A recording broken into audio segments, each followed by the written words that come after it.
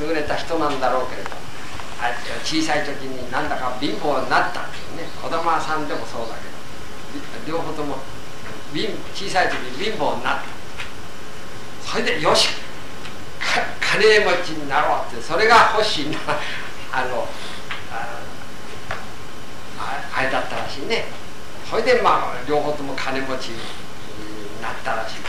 これ中途半端な。の金持ちになった挙句に牢屋入っちゃうって彼は金持ち金持ちってののそれ追求してった挙句に牢屋行きっていうの。これはやっぱり中途半端だね。本当に行き着くところ行き着いたところを狙うっつったらそんなものね牢屋行きになるはずがないんだよ。あのそれを、ね、の行き着くところ行き着いたところは一緒。はっきり一生懸命狙わなきゃ。それが筆教基礎沢木しの行き着くところ行き着いた。その沢木しが行き着くところ行き着いたっていうんで私はあこの老子に着こうと思って。ところがそれでもってその後こう、まあ、消防現像もだんだん読んでいくとこれは消防現像のね「紀恵三宝の巻」あの何らあの何がゆえに三にキスってね。何がゆえに三宝みんな仏法を信ずるのかっていう,、ね、いう問いに対して参謀をどうして信じるか。あれは筆教基礎なるがをなるをもってのゆえに計算法の巻で要するに仏法、今今時はあの仏法僧の参謀ですね。仏を信ずる法を信ずるはいいけどそうだけはちょっと信じられないやつが多いもんね。だけどその本当は仏教を信ずるっちゃ仏法僧の三宝を信ずるそれで、うん、そのなぜ仏法僧の三宝を信ずるかっていうとそれは私の人生の必要基礎を教えるからだっていうことね。それが紀恵三宝の巻に出てで今の場合もその紀恵三宝の牧の筆教基礎っていう言葉の根本はこれだ。涅槃とは筆教記なこれでね、うん、つまりね涅槃っていうのは煩悩の諸血の火を滅すること。私の言葉でいや頭手放しだ。それが結局つまりきするところなんだってことだね。でまああのちょっと厄介だけどそういうあの仏典の根拠をね仏性っていうのはねあの何か第一義第一義空第一義空とは何かとあの涅槃が空であるでだから涅槃とは何かっていうとその煩悩諸血の火を滅してそしてそこを筆教機とするんだっていうねそこなんですねでだから結局はねまとめて言えばわ私の言葉で私はどうしてもねあの仏教の言葉をその仏教の言葉としてただそれだけじゃ満足しない。俺の言葉で言い換えないと気が済まないっていう男で私の言葉で言えば要するに私が、まあ、座禅した頭手放しにしてるこれがね頭手放しにしている。頭手放しっていうことが生命の実物なんです。実物に変えることでそれがね結局本当の安らいどころ。まあ、涅槃というのはつまり帰するところだからね。であらゆる煩悩にも流されないと。それでそれが涅槃。ところがそういう生命の実物。涅槃っていうのはね何かコロッとしてあるのかっていうと そんな固定してねあるもんじゃないんだっていうことね。要するに涅槃とはこれこれである。規定もできない。あるいはあの修行したあげくパッと悟り開いてああこの境界が涅槃の境界ってそんなんじゃないんだと境地境界としてもつかめないね。固定してあるもんじゃない。しかしないんでもない、結局情にあらず滅にあらず。そういうのが第一義それが仏性っていうのね。そこまでこうまあしあのお経の言葉を調べてくるとこの仏さんの種ってぐらいじゃないってことは分かるでしょ？仏さんの種ってあ梅干しの種ねあカチンってあこれだなって。ねそれでこれさえまいときゃあの仏さんなんとかってそんな梅干しの種まいたってんだ。芽が出てこれしないんだからつけてある。それでそんなね種じゃない。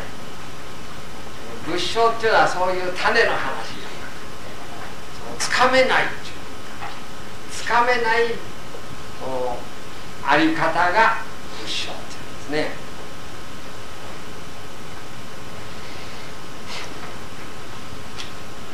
つまりこの私が今までよく生命の実物っていう言葉をたくさん使ってきてるもう私の話聞いていつも聞いてからられる方ああまた生命の実物かと思ってる。そのくらいあのもう決まったものがあるように思ってる。ところがそういう生命の実物っていうのは人生の筆境気象そういうのはあるんじゃない。あるって言えば断言だ。それじゃないのかっていうとないんじゃないないって言えばあないって言えば断言になるしあるって言えば条件だ。で結局そういう生命の実物っていうのはもう一体どういうことか中道だっていうのね今。その中道っていうのはどういうことかっていうとあの折衷した中じゃないですよ。そうじゃない。的中した。生き方だ生命の実物に的中した生き方が生命の実物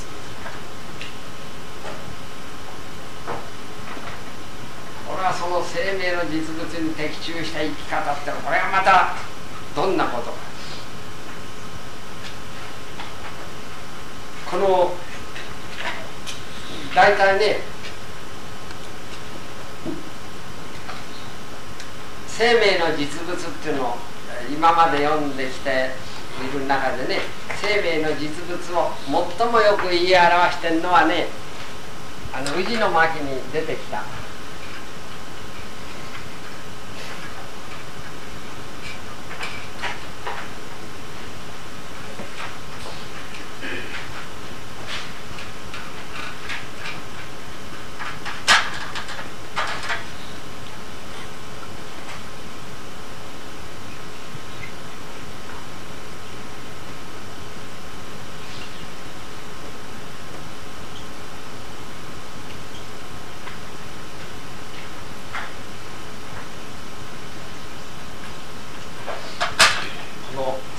の実物を一番よく言い表してるのは自己人無人海自っていうねこれはあの宇治の巻に出てきた。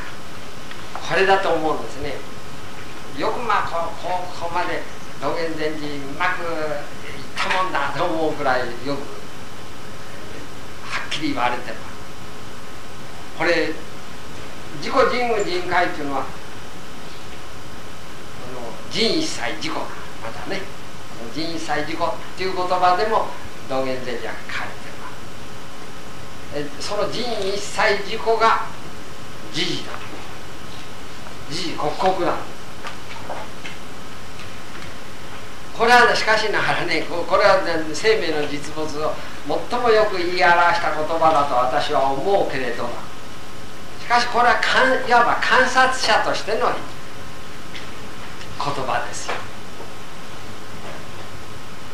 れですね、えー、人間たちは2つの目持ってるって言うけどこれは観察者としての言い方です。事実を私が目を持ってるってこと。はまた2つの目持ってるってね言う言う思っちゃいないんじゃない。事実見てるんだ。事実見てるんであってね。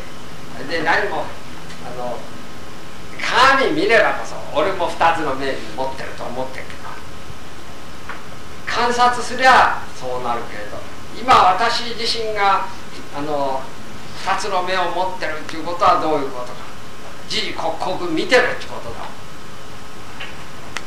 そこでねあのこれは観察者第三者としての観察者としてよく言い表した言葉だ。しかしながら当も本人実物としてどういうことか。でなるとこれ話は違うそれっていうのもねこのまあ自己人務人海っていうのはこれ人一切自己とも私よく言うけれど自己人務人海っていうのはねこれはわか大体わかるわね。私はこの私の見ているこの人務人海ね一切をの世界を生命体験しながら私は生きてるんだそれからあらゆる世界は私に生命体験されるところにおいてある。だから私と世界と全くあの実物としてはですね分かれる以前のところが実物なんだってそれだけはまあ一応分かるじゃないだけどそれがまた同時に本当の実物っていうと時事時事刻々なんだ。これがまたむずあの専門なんですね。時事刻々なんだから。だからあ自己自己の実物は自己人人海事であるって言ったってもうそろその事はもう過ぎ去ってる事刻々っていう言葉もうこれ過ぎちゃった過ぎ去っちゃって。生じゃん。もう腐ってるこのだから悟りっていうんでも悟りっていうもんがあると思ったらその悟りはもう腐ってる俺は悟ったって。そんな俺は悟ったってそういう顔してるやつはどうどうせあの腐ってる。当は本当の生の生き生きしたっていうのはとも言えないっていうね。何とも言えない。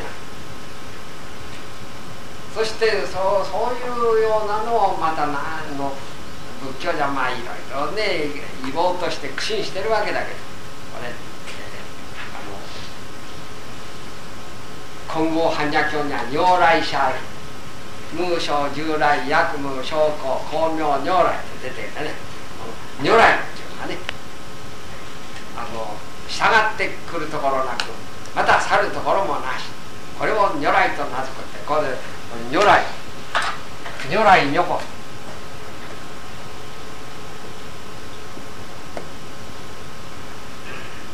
この時事は結局来たるがごとく去るがごとく。で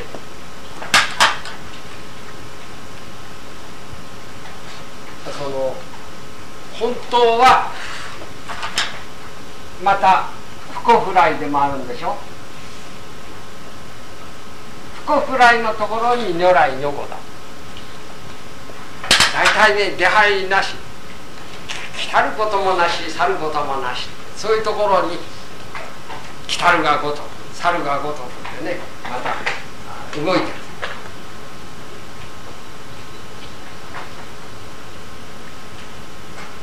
でそういうのをのだから生命の実物っていうのはそういう如来如来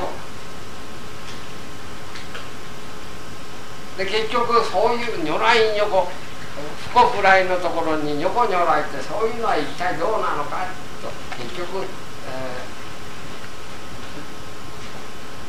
来る。来たる去る。あの古来の別れる以前が実物だ。結局ね。来たる。去る。そういう来る去るあるいはあるない。我と世界以前と以後。そういうのが全て別れる以前。あるとないと別れる以前っていうのはこれは本当に、うんだから物自体があるっていうのは間違いなんでしょ？だから物自体がないっていうのも間違いそうするとあるとないと分かれる以前っていうと一体どういうの？か結局存在以前。それからそれじゃあ以前と以後とあるのかまた以前と以後と分かれる以前。そうするとこれはもう時間以前。つまりね存在以前時間以前。とにかく固定した。目殺しの種は一つもないっていうね。そういうのが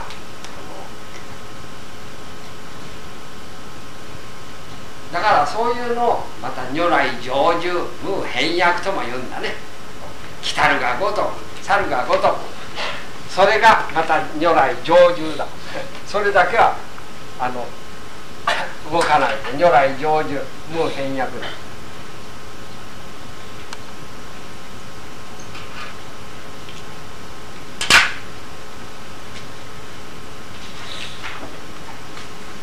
私がねまたあの時々私は変な歌とも言えない歌を作る人も言えない詩を作るけあの変なのを作るけどこういうの作ったの「時々移る。移るままこそ我が命」時刻々我々の命は移ってるで移るは移らず移らず移る。移るは移る。時移る移るままこそ我が命でしょ。移るは移ら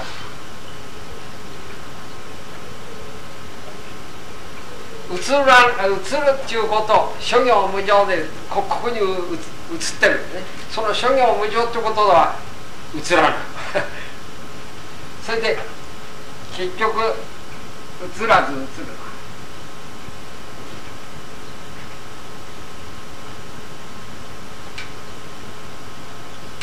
この移らずと移るとね。結局。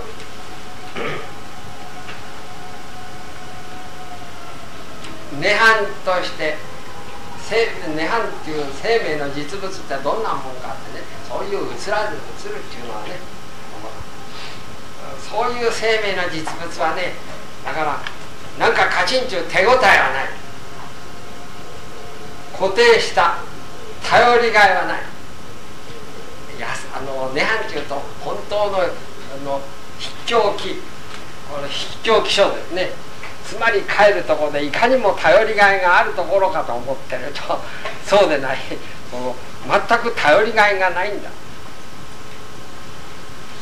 例えばねこの、まあ、自転車に乗る時こう自転車に乗ってってハンドルっていうのねこれがしっかりこうしてるから、ね、頼りがあるあるじゃない。自転車に乗って。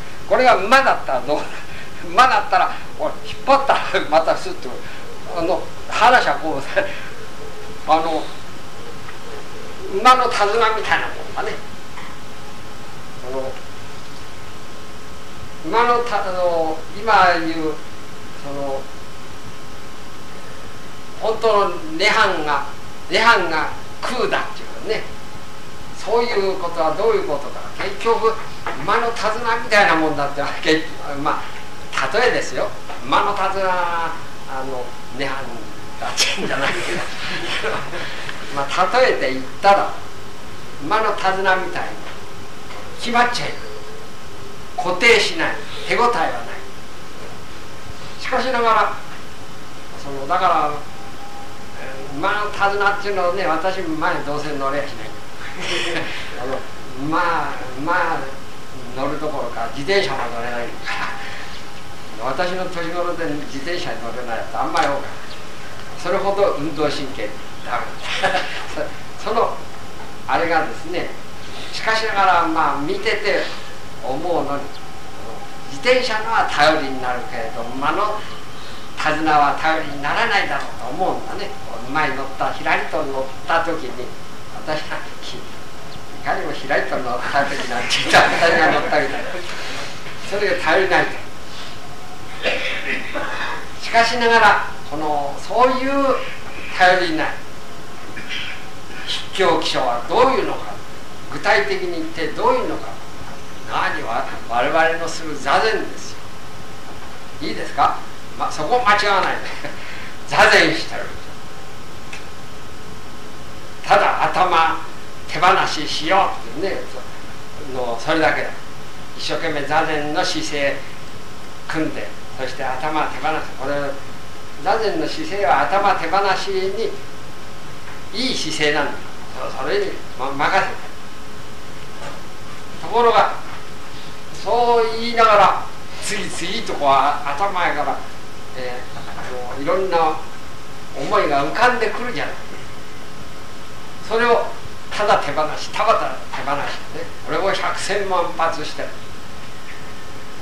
それが座禅そうするとね要するに座禅っていうのはゴツゴツとして不動動かない。それでゴツゴツとして不動なんだけれど頭はいつでもそのいろいろな意識が意識の流れが。そして新陳代謝もしてるだろうけど頭はともすりゃ固定するわけだね。それを手放しにしていればただ意識に流れてそうするとこれゴツゴツとして不動だ。そしてしかも如来のようだこれ不古不来のところ。ゴツゴツとして座上してる。そこに如来に残してる。それを狙ってるっていうのを頭手放しただ狙ってるっていう姿勢ですね。その時映らず映る。ただあらゆるものがただ映ってる。それで座禅のことを木正禅。黙って照らす。そしてねだからこの士官多座っていうのが人生筆教基礎としての仏性の最も具体的なあり方ですよ本当に。それでそういうのを如来成就無変訳って変わりようがない。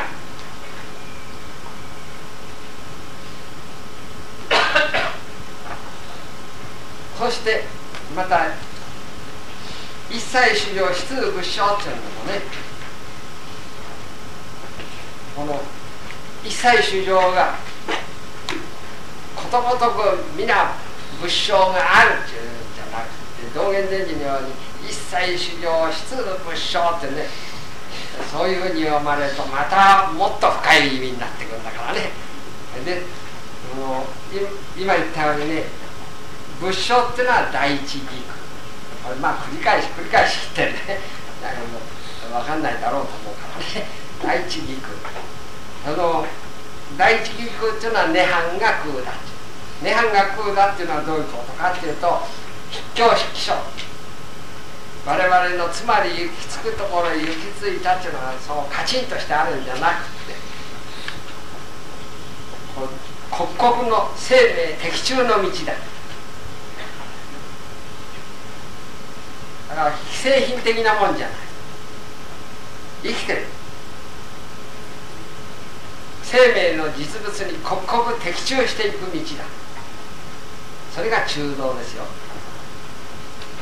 これはそういうのどういうのかっていうと一切主情が出仏性ってこうなってくるとどういうこと？一切主情出部っていうのはねこれは生きとし生けるものあらゆるものっていう。こともとねあらゆるものこともとどれもこれもっていうことね。どっちへどう転んでもあらゆるもの全てっていうことが一切主情出だ。こうなってくるとそれが仏性だ。言うとどういうことですどっちどう転んでも私の筆境気象でないものはないっていうことがあるわそこにこれだから、えー、法華天法系の巻には十方仏道中ってあったでしょ？どっちへどう転んでも私の筆境気象でないものはないってこと。ところがそう決まってんだったらこれは固定しちゃう。そうでない。そういうのどっちに転んでも質あの、私の筆境気象だっていうね。そういうことをどっちどう転んでも今ここで領じていくっていうことこれが一切修行質仏性の意味だもん結局は。つまりねあの一切修行質仏性ってことはコロッとしてあるもんじゃないんだ。結局。第一義空なんだからね。コロッとしてあるもんじゃないそうじゃない。どこまでも今ここ行じていく刻々時事時事なんだからね。時事刻々今ここで行じていくっていう。それ以外ない。だからいわばこう既製品的な想定されたね。あのそこに置かれたこれあの水瓶がここに置いてある。そそういうようなもんそういうような存在のあり方として、ね仏性がここにあるってそんなもんじゃない。そうじゃない。刻々に今ここで行じていくっていうそういうあり方。いわば行的あり方。仏性っていうのはね。それが生きてる。だからあの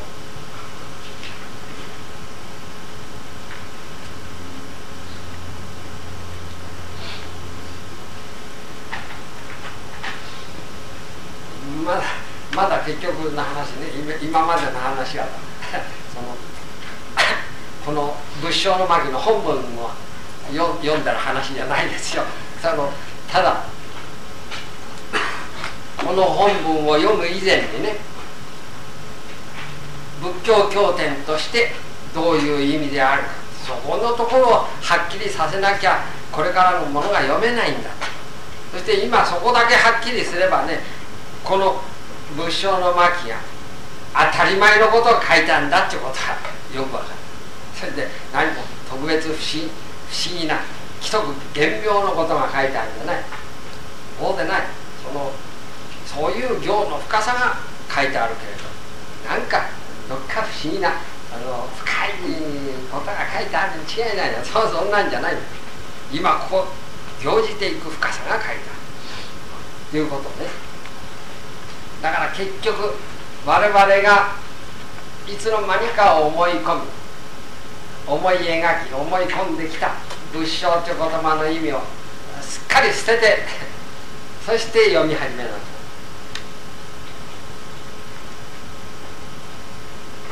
で結局の話ねこの道元禅師の仏この正法現像の仏性の巻はそういうこの